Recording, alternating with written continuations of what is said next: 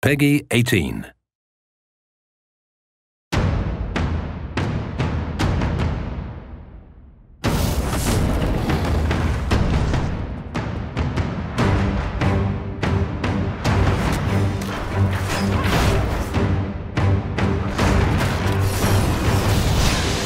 Vikings Wolves of Midgard uh, is a story-driven isometric action RPG game which is set in the brutal world of Nordic mythology.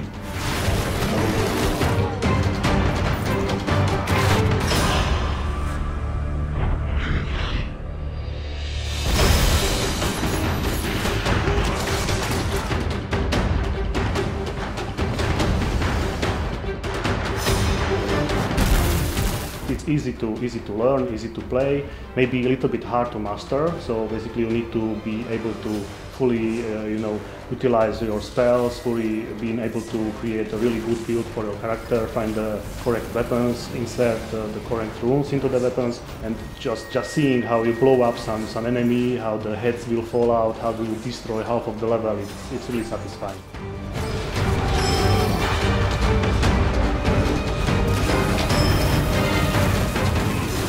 We have a lot of enemies in uh, Vikings. Uh, I think there are over 50 enemies in there. And you will come across all kind of uh, enemies. There, there, are weak enemies which you can uh, slash down uh, in hundreds. But we have also actually very strong enemies which you will have a lot of troubles to defeat.